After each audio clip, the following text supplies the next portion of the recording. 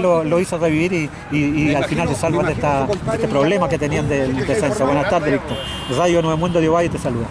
Bueno, buenas tardes. Eh, sí, mira, nos tocó jugar eh, casi todo el campeonato con un descenso. Eh, el equipo está descendido y creo que al final los chicos tuvieron la, la jerarquía de poder salir adelante y marcaron la diferencia que, que hasta hoy día nos lleva a salvarnos lo- la categoría. Eh, si bien es cierto, fue difícil, pero creo que el trabajo junto con Rocío no- nos llevó al éxito. Eh, siempre fuimos súper profesionales para, para trabajar. Y lo importante es que también los chicos entendieron lo que nosotros veníamos a hacer acá y, tuvimos buena aceptación. Y, como, dice, como se dice en el fútbol, nosotros no vinimos aquí a, a vender pomada, simplemente vinimos a trabajar.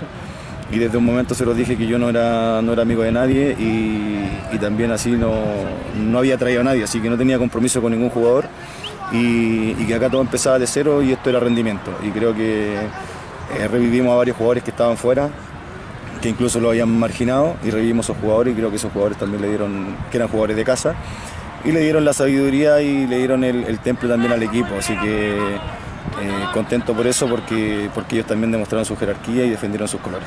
Lo positivo que ganaron los partidos clave, Mejillones, eh, Colchagua allá, y eso también lo, al final lo hizo que, que subieron su juego y hasta prácticamente esta racha de, seis partidos sin perder. Creo que desde, que empezamos con, la derrota con, con Ovalle, eh, ahí hubo un cambio y, y después nos tocó el partido con, con Malleco. Creo que desde ahí empezamos y ahí mostraron los muchachos su jerarquía.